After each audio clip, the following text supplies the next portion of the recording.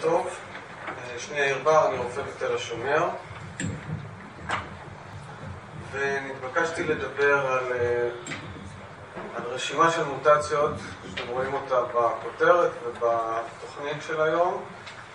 אני חייב להגיד שאני לא חושב שזה נושא שראוי כל כך הרבה לדבר עליו כי באמת זה מקרים מאוד נדירים והנתונים האלה הם חלק יותר ברורים, חלק פחות ברורים, אז אני אדבר הרבה מסביב וקצת אני אגע בנתונים שיש על המוטציות האלה הספציפיות.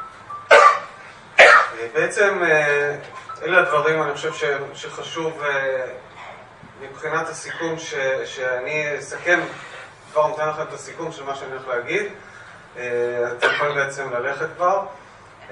אני חושב שאלה באמת הדברים החשובים. זאת אומרת, אני חושב שחשוב להגיד, קודם כל, להזכיר שוב מה שהוזכר כבר, ואני חושב שאי אפשר, אין מצב שנדבר על זה יותר מדי.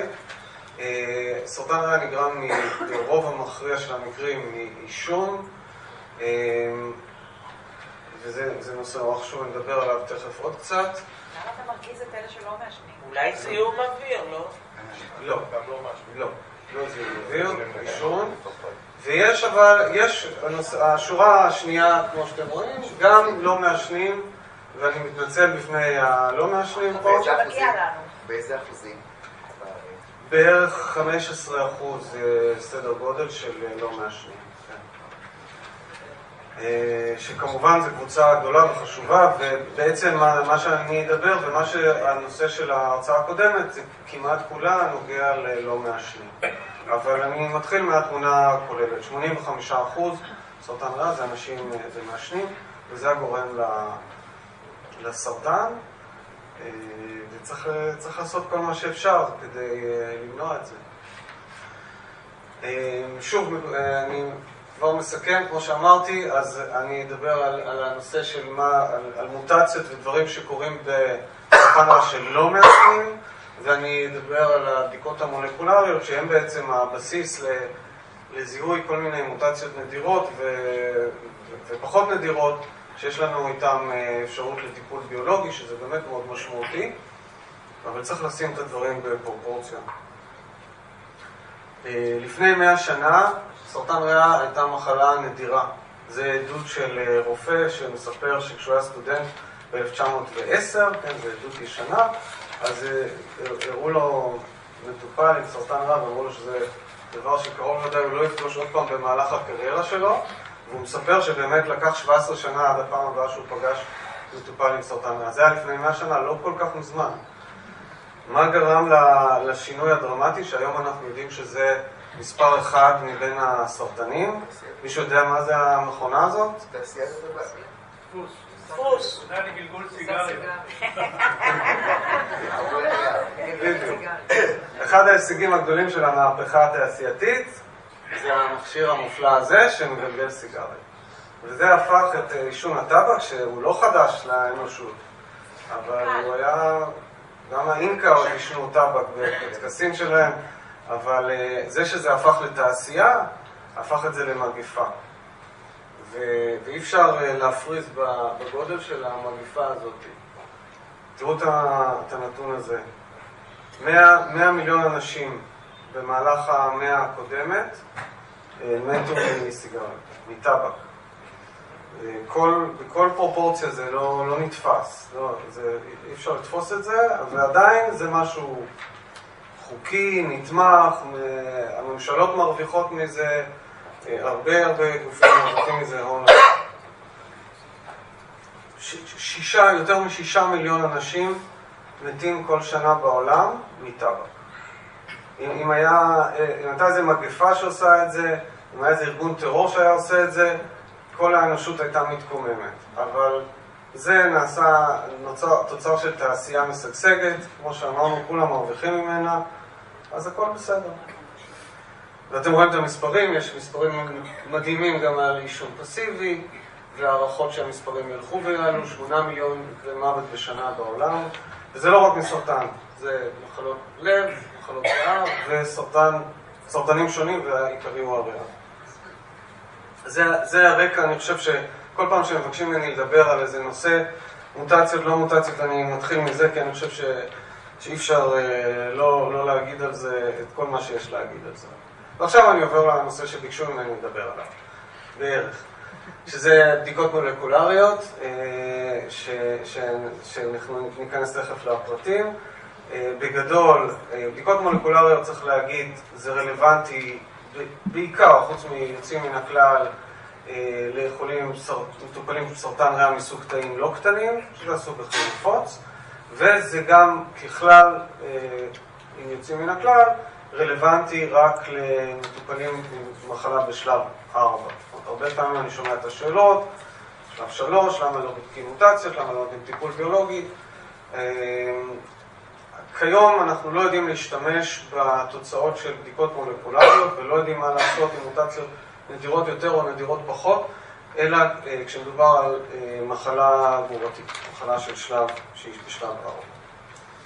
כל, כל דבר, בכל כלל יש יוצאים מן הכלל, אין, אין פה כוונה להיכנס למצבים ייחודיים שבהם כן זה, מה שאמרתי לא נכון, אבל ככלל זה, זה, זה, זה, זה ההיגיון.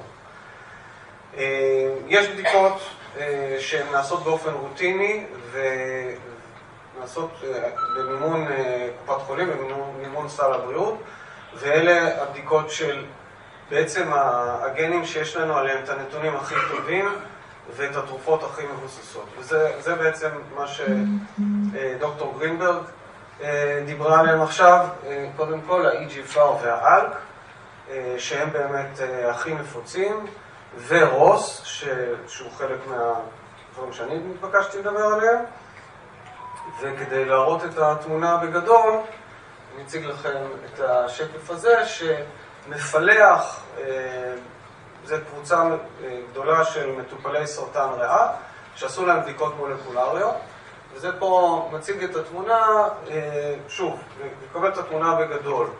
יש פה, אה, בתוך העוגה הזאת של מטופלי סרטן ריאה, יש הרבה פלחים בעוגה הזאת, ואנחנו היום לומדים יותר ויותר על כל מיני פלחים יותר ויותר דקים, שיש לנו, אליהם, להם יכולים להציע טיפול ביולוגי.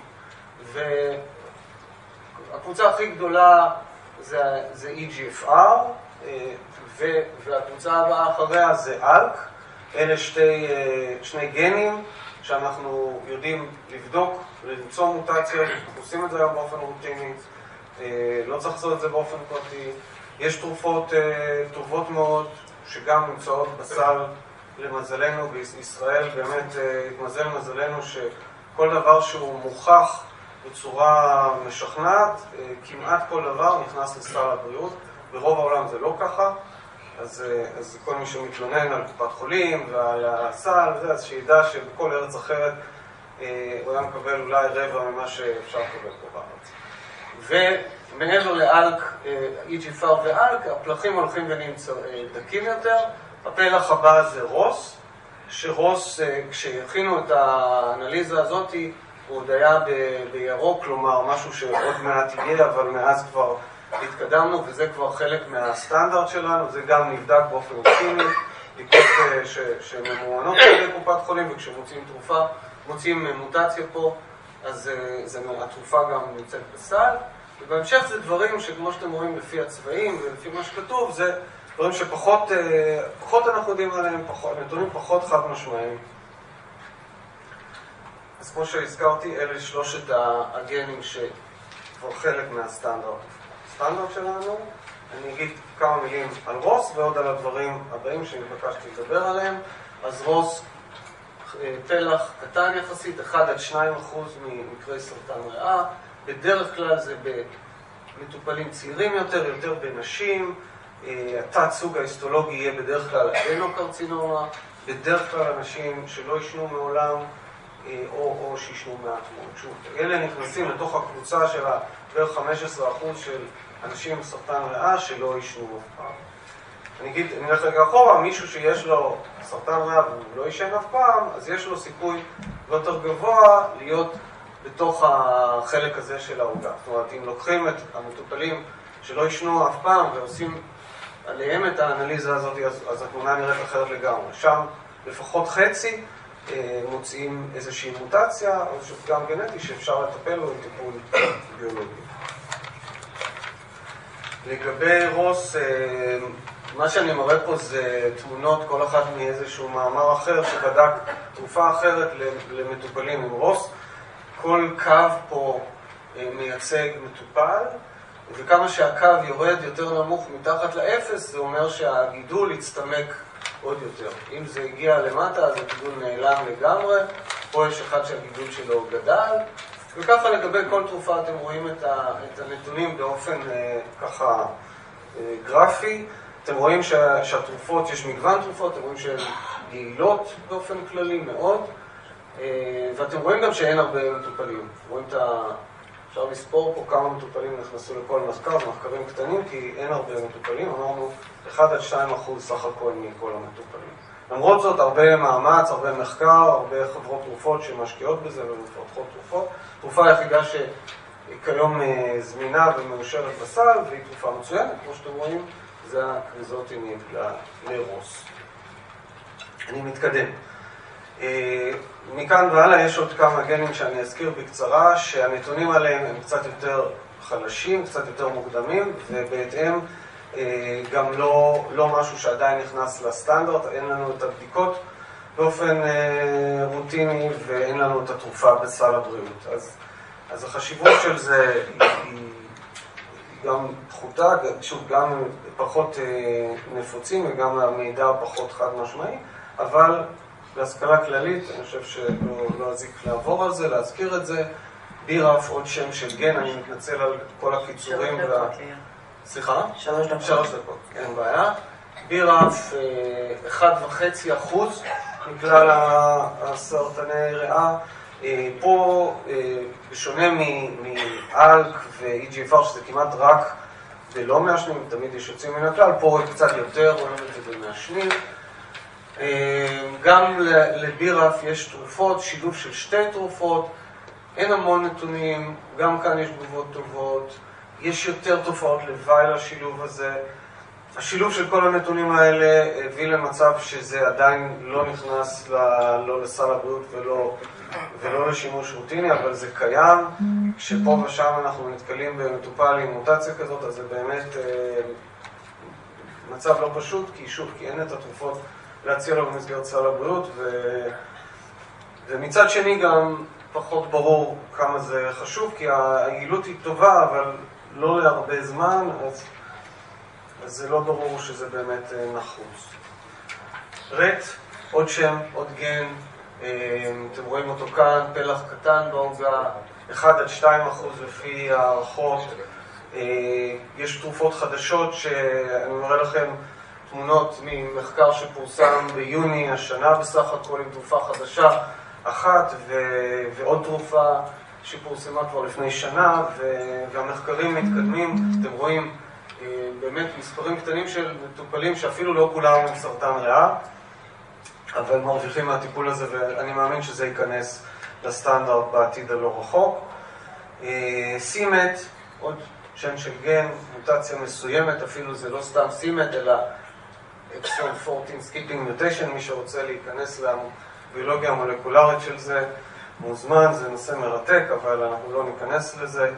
כנראה 3 4 אחוז פחות ברור, כי הבדיקה היא לא כל כך פשוטה ולא נעשית הרבה. אה, גם כאן אה, יש תגובות יפות, וגם זה צפוי להפוך להיות חלק מהסטנדרט, אבל זה עדיין לא כאן. הגענו לסיכום שאתם כבר יודעים אותו, עישון, גם בלא מעשנים יש סרטן, ויש בדיקות מולקולריות שהן יכולות להיות חשובות אם אנחנו מוצאים משהו. שוב, מה שבאמת אה, חשוב להגיד זה שהדברים הנפוצים יותר, המשמעותיים יותר, נבדקים באופן רוטיני במסגרת סל הבריאות, ו- ו- וכשיש שאלות אם צריך לעשות בדיקות נוספות ובדיקות אה, במימון פרטי, אז באמת צריך לקבל את ה... פרופורציות של מה הסיכוי שזה ייתן משהו ומה ייתן ומה זה, אפשר לעשות עם האינפורמציה הזאת. זהו. יאיר, שאלה קטנה. למי כן, למי כן תמליץ על בדיקות מולקולריות מעבר למה שיש בסל? דוגמאות מסוימות. כן, אז, אז אני, אני אגיד מה, מה אני חושב. כשיש אה, מישהו עם סרטן ריאה שלא עישן אף פעם, אה, שזה באמת, זה, זה מקרים יוצאי דופן סך הכל, אז במקרים האלה, אם הבדיקות הרגילות לא מוצאות שום דבר שמכוון לטיפול ביולוגי, אני, אני אמליץ כן לעשות אה, בדיקות נוספות. אוקיי, מעבר לסל. כן, כן. לדעתי במצב הזה, זה... אם זה היה בן משפחה שלי, הייתי אומר לו, תגייס את הכסף ותעשה את הבדיקה, כי, כי כן יש סיכוי יחסית גבוה למצוא משהו, וזה כן יכול לשנות. אני מסכימה איתך לגמרי כמובן. אוקיי, תודה רבה דוקטור בר.